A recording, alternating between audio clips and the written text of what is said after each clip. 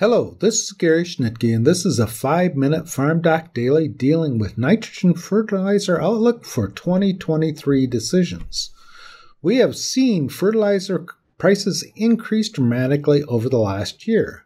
In August of 2021, we were looking at anhydrous ammonia prices between 750 and $800 a ton, and that increased to February, immediately before the Ukraine Russia conflict began in earnest to about $1,500 a per ton. After that conflict, we saw anhydrous ammonia increase to over $1,600, but in recent months they have receded back to below $1,500 to 1,469. While that decrease is welcome, we are still looking at anhydrous ammonia price and other DAP and potash prices well above their historical averages and the last time we saw anhydrous ammonia prices above $1,000 was back in 2008 in the financial crisis then. As we move forward and look at our outlook for fertilizer prices, it's going to be very much dependent on geopolitical events. Western Europe is trying to reduce its flow of natural gas from Russia, and Russia is, is threatening to cut off supplies to Germany, and Western Europe.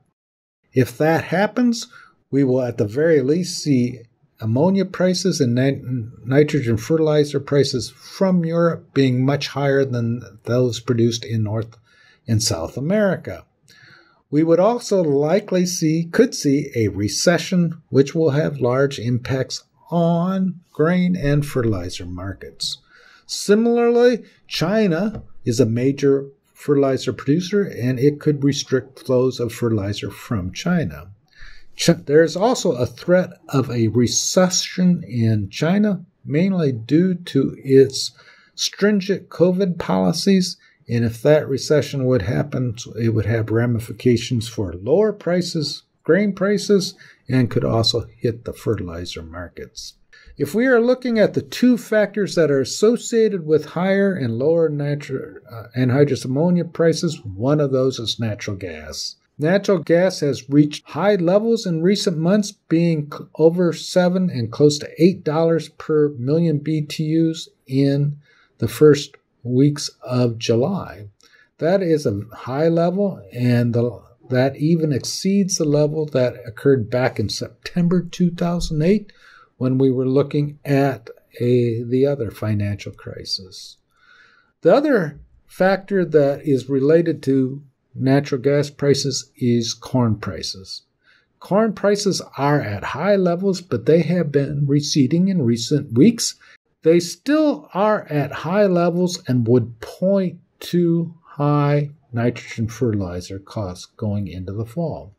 However, the, the declines in corn prices in recent months also point to the fact that they could recede further in future months. As we're looking at the decisions that farmers must make, one of those is to purchase in August and September, a practice that many farmers do. And we have to remember when we're doing that that there is no guarantee that nitrogen prices will not decline from those prices that we purchase at in August and September. Typically, when we're looking at nitrogen fertilizer prices, and in particular anhydrous ammonia prices, they do increase as we grow through the later in the planting season. Typically, March, April, and May prices are $50, 50 to $60 per ton higher than what they are in August. However, there's a wide range in prices, and as we saw last year, they were much higher in that March, April, May period. This year, the June price, 2020 price, was $873 higher than the August price.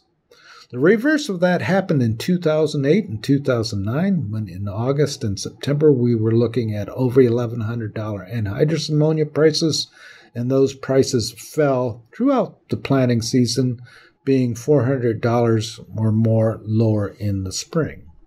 What that suggests is that if we are going to purchase nitrogen in August and sem- September, we would likely be good from a risk management standpoint to price some of the corn.